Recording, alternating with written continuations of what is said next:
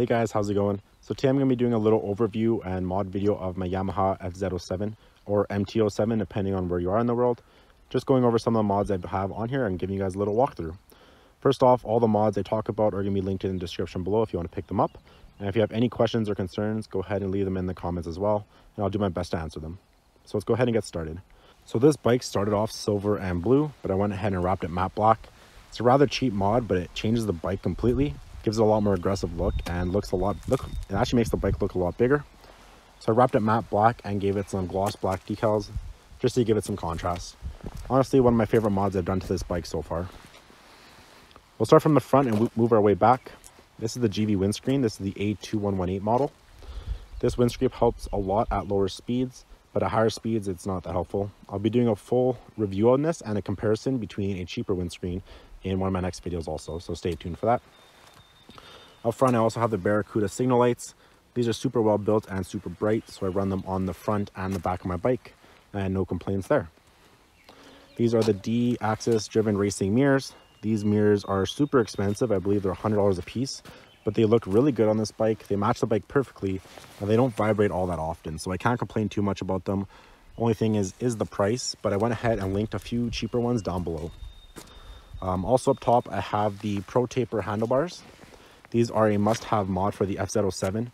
Reason for that is that they change the bike completely and give it a lot different feel. It's a lot more aggressive, a lot more wider, and honestly, I really like the feel of them and the look of them. I didn't like the stock handlebars, so I went ahead and changed these, or changed them out to these, and I don't think I'll ever be going back to stock. Along with the Pro Taper bars, I have the Pro Taper handlebar grips. These are the pillow top grips.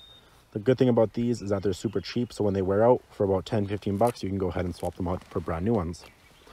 Also underneath the grip, I have an R6 throttle tube. Honestly, the best mod for this bike you can get super cheap. I recommend getting the OEM throttle tube as it changes the uh, rotation of the throttle tube from 90 to 60 degrees. So doesn't give you more horsepower, but it changes the complete feel of the bike. Moving on down, I have a radiator uh, guard down there.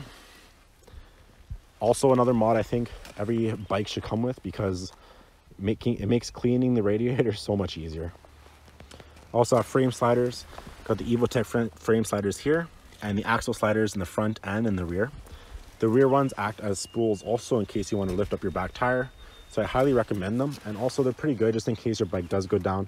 You kind of want to protect as much as you can. Moving on to the exhaust down here. I have the Akrapovic full titanium racing exhaust with the baffle out. I have never ran the baffle in. I have put the baffle in to hear the sound of it, but it sounds stock. And personally, if you're paying $1,300 Canadian uh, for an aftermarket exhaust, I would want to hear it. So I run it without the baffle, and I think it's one of the best sounding exhausts for this bike. So definitely a must have. To run the exhaust, I also have a power commander under the hood. Um, that is the Power V power commander with a map off their website.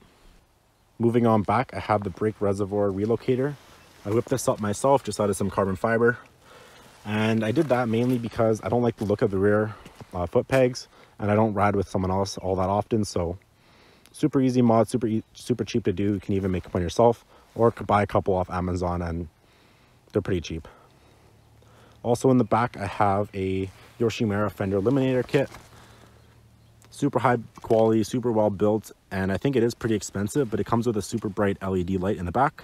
And I think most countries, you need a LED light for your plates. So highly recommend it as it is super bright and I never, never had any problems. So I think that's all the visual mods on the bike. I have one other mod under the hood other than that power commander. That mod is an alarm system and I'll show you right now. 22 bucks on Amazon, $15 on the, in the US. Go ahead and arm it. It'll beep once to tell you that it's armed. And the way this alarm works is that if you hit it once, it will go off. Or if you hit it once, the alarm will sound, but then it will go off right away. The reason for that is just in case someone bumps into it, it's not gonna go off if you're not there. But if you go ahead and hit it again right after that and try to move it, then the alarm will stay on. So I'll go ahead and show you that. As you can see, the alarm went, off, went on, but then turned off. If I hit it again, the alarm stays on until you use the key fob to turn it off.